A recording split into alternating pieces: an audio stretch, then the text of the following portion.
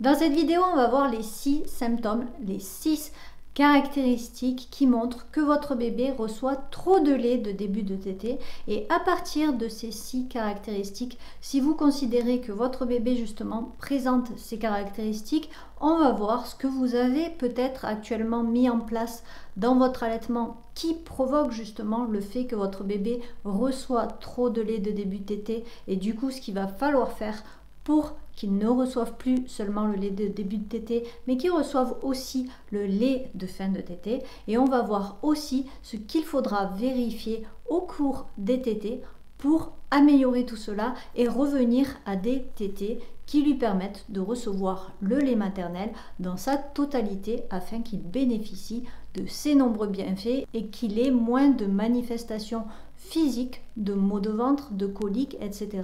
au cours de la suite de votre allaitement. Alors le premier symptôme d'un bébé qui reçoit trop de lait de début de c'est le fait qu'il ait une prise de poids trop lente par rapport à la courbe de poids d'un bébé allaité. Alors pour cela, il faut vous référer aux courbes de poids des bébés allaités qui sont fournies par l'OMS. Il y a des courbes de poids différentes pour les bébés garçons et pour les bébés filles de 0 à 6 mois et ensuite de 0 à 2 ans. Je vous mettrai un lien dans la description de la vidéo. Si vous êtes sur ordinateur, il suffit de cliquer sur plus en dessous de la description de la vidéo pour pouvoir dérouler toute la description de la vidéo et accéder à ces fiches de l'OMS. Et si vous êtes sur smartphone, il faut simplement cliquer sur la toute petite flèche qui se trouve juste ici en bas de la vidéo. Deuxième caractéristique d'un bébé qui reçoit trop de lait de début de tétée, ça va être un bébé qui va effectuer soit des tétées très courtes, soit il va avoir tendance à s'endormir rapidement au sein, ou alors, il va avoir tendance à arrêter, à interrompre la tétée avant d'accéder au lait gras. Autrement dit, dès que le lait va sortir plus difficilement, dès que le lait commencera à devenir plus gras, qu'on arrivera au lait de milieu de tétée et de fin de tétée, qui nécessite plus de mouvements de succion avant d'extraire ce lait, votre bébé va avoir tendance à se désintéresser du sein, à lâcher le sein ou à s'endormir. Pourquoi? Parce que la plupart du temps, quand les bébés accèdent seulement au lait de début de tétée, il y a plusieurs explications. Et dans ce cas-là, l'explication, ça serait que soit votre bébé se fatigue très vite au sein parce qu'il a soit un problème de prise du sein, soit un problème de succion ou de positionnement au sein, peut-être même qu'il a euh, des problèmes de frein. Mais là, je vous invite à parcourir toutes les vidéos de la chaîne pour approfondir le sujet et voir si c'est plutôt cette problématique-là. Mais dans ce cas-là, ces bébés-là vont avoir tendance à davantage boire le lait début de tétée et ensuite se fatiguer, s'endormir ou alors se désintéresser du sein et du coup, ils n'accèdent pas au lait gras de fin de tétée. Troisième symptôme d'un bébé qui reçoit beaucoup de lait de début de tétée et n'accède pas finalement au lait de fin de tétée, c'est de n'être jamais rassasié, de vous donner l'impression d'avoir toujours faim et de réclamer tout le temps le sein. Et ça bien sûr à condition de ne pas être dans des phases particulières de la croissance du bébé, comme les pics de croissance. Vous pouvez aller voir la vidéo ici si vous voulez en savoir plus sur les pics de croissance. Mais dans tous les cas, si votre bébé demande à téter très souvent et semble ne jamais être rassasié et qu'en parallèle vous avez l'impression qu'il boit seulement le lait de début de tétée, eh bien effectivement c'est peut-être le cas. Quatrième symptôme d'un bébé qui reçoit en excès le lait de début de tétée et qui, à contrario, reçoit peu de lait de fin de tétée, ce sont les selles. Un bébé qui va recevoir beaucoup de lait de début de tétée reçoit beaucoup de lait riche en lactose et cela va se manifester par des selles vertes, verdâtres, liquides, peut-être mousseuses et parfois même explosive. Si vous voulez approfondir cela, euh, en savoir un peu plus sur la couleur des selles du bébé et savoir ce qu'elles disent sur votre allaitement, vous pouvez aller voir la vidéo sur la couleur des selles du bébé allaité. Cinquième caractéristique qui montre que peut-être votre bébé reçoit trop de lait de début de tétée, c'est si vous voyez que votre bébé a souvent des coliques abdominales, des maux de ventre qui seraient expliqués notamment par le fait qu'il reçoit essentiellement du lait de début de tétée et donc du lait riche en lactose et que donc il a des difficultés à digérer tout le lactose qu'il reçoit parce qu'il en reçoit en excès. Sixième symptôme d'un bébé qui reçoit trop de lait de début de tétée et pas suffisamment de lait de fin de tétée, ça peut être un bébé qui va avoir des difficultés à trouver le sommeil ou des difficultés à avoir un sommeil profond. Et là, ça va être corrélé aussi avec le fait que votre bébé ne va pas être rassasié assez longtemps puisqu'il va recevoir essentiellement du lait riche en sucre et pas de lait riche en graisse qui est celui qui va lui permettre d'atteindre cette sensation de satiété et de pouvoir mieux dormir tout simplement parce qu'il n'aura pas faim et qu'il sera en mesure de dormir d'un sommeil profond avant d'avoir de nouveau faim et de réclamer une nouvelle tétée.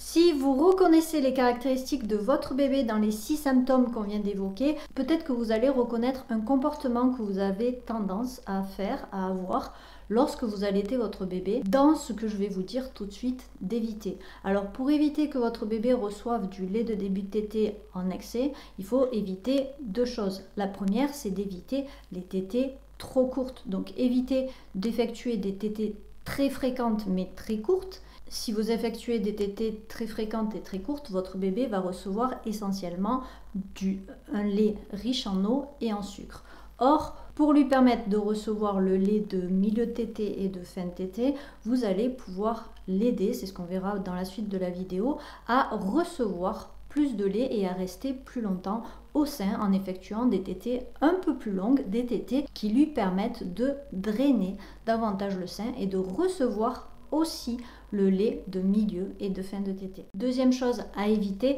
c'est de faire, de pratiquer ce qu'on appelle l'hyperalternance. Peut-être qu'on vous l'a conseillé parce que vous aviez un manque de lait maternel ou parce que vous vouliez aller plus vite lors des tétées, je ne sais pas, mais l'hyperalternance effectivement peut être effectuée pour aider votre bébé à recevoir le lait plus facilement et pour vous aider vous à augmenter votre production de lait maternel, mais elle ne doit pas être faite n'importe comment et ne doit pas être proposée dans n'importe quelle situation. L'hyperalternance, c'est quoi? C'est tout simplement le fait d'alterner entre chaque sein assez rapidement dès lors que vous voyez que votre bébé arrête de téter ou commence à ne plus avaler de lait. Personnellement, ce que je vous conseille si vous poursuivez l'hyperalternance, c'est d'abord d'aider votre bébé à recevoir le lait de milieu et de fin de tétée avant d'alterner et de changer de sein.